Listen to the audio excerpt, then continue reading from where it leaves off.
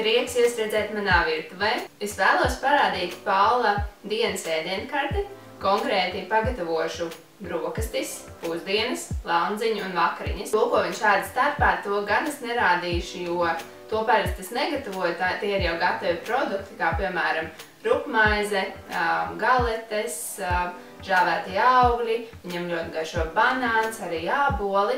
To tad viņš ēda starpā, bet tās lielās nopietnās ēdienreizes Tas tad es vēlos šodien pagatavot, lai varētu varbūt jums arī palīdzēt ar kādu ideju. Personīgi man tās idejas dažreiz aptrūkstās, un tad ļoti forši, ja es varu pasmāties no kādas citas mammas ideju un realizēt to savā virtuvē. Bet pirms es ķeros klāt, es vēlos atgādināt, ka Palam šobrīd ir gads un divi mēneši. Viņam nav nekādas pārtikas alerģijas.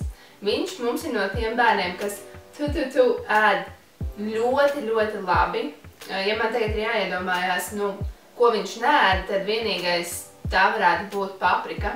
Esmu izvēlējusies Paulu barot ar bioloģiskiem, ekoloģiskiem produktiem. Ja jums interesē dziļāk kāpēc, tad uh, noteikti noskatieties šo te video, tur es visu pastāstu, kas un kā. Vēl es esmu no tām mamām, kas neuzvāra nedēļai zupu un bērnam nedod katru dienu vienu un to pašu. Es esmu izvēlējusies viņam dot uh, katru reizi svaigu maltīti, jo man tas šobrīd nesagādā nekādas problēmas. Es tomēr katru dienu ar viņu pavadu kopā. Mēs vēl īsti nēdam tā teikt no viena katla.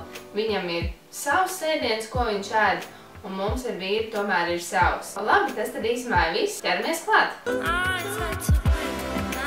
Ja ir iespēja, veiklā vienmēr izvēlos Latvijas produktus, tāpēc šoreiz ņēmu Dobeles eko griķu pārslas, vajadzēs ūdeni, baltais eko pienu, un par ko ļoti priecājos līdz aprīlim, iegādājoties kādu no baltais eko produktiem, viens cents tiek novirzīts grūtībās nonākušām Latvijas ģimenēm. Šķēlīta ķirbja un sviestiņu. Ņemam katliņu, izkausējam gabaliņu sviesta, pievienojam sagriezto ķirbi, ķirbi nedaudz apcepam un pievienojam ūdeni.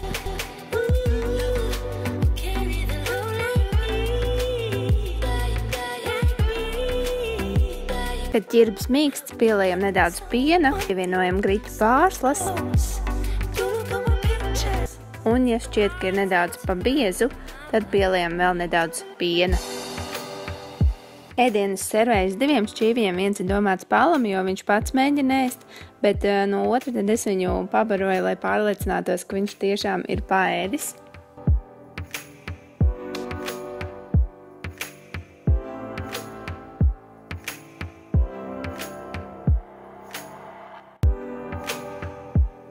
Vajadzēs cukīnī, puravus, burkānu, seleriju kātus, pāli un sīpolu.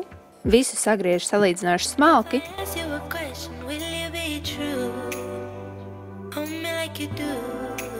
Arī šoreiz cepšanai izmantoju sviestu, jo man liekas, ka tas piedod ēdienam tādu krēmīgumu. Apcepam sīpolus,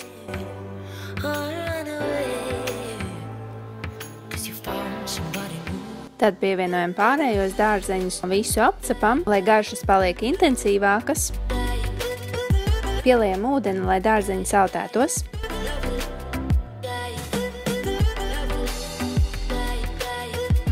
Tā ir novārīta un sasaldēta vistas gaļa, liek uz plīts, lai tā ātrāk atkūst. Kad gaļa ir atkususi, sagriežu to gabaliņos un pievienoju dārzeņiem.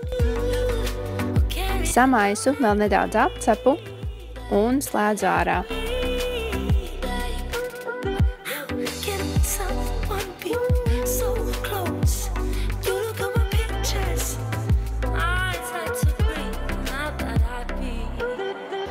Vajadzēs vienu glāzi ātri vārāmās pārslas, jo tās ir smalkākas struktūrā, teikarot medus vai pat mazāk, 60 gramus sviesta, dateles, pus teikarotī cepamā pulvera un teikarotī kanēļa. Visas sastāvdaļas saliek virtuves kombainā. Samaļ un lai tas viss kļūst tādā lipīgā masā. Ieslēdz cepeškrāsni uz 180 grādiem.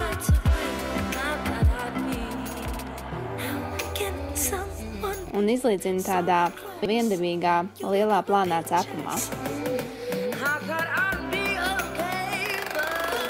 Cep aptuveni kādas 10-12 minūtes, kad jūs redzat, kā apkārtējā maliņā paliek tāda vairāk brūngana, tad jau ir gatavs.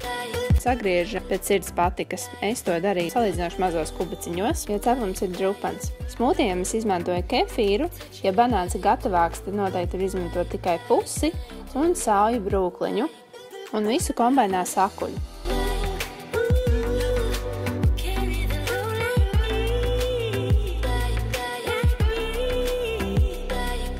Un vakariņās pirms miedziņa Pals joprojām ir iecienījis dienu maisījumu. Man prieks, ka noskatījies šo video. Ja tev ir kādi jautājumi vai varbūt ierosinājumi līdzīgam šādam video, noteikti rakstos komentāros. Labi, tikamies jau nākamajā video.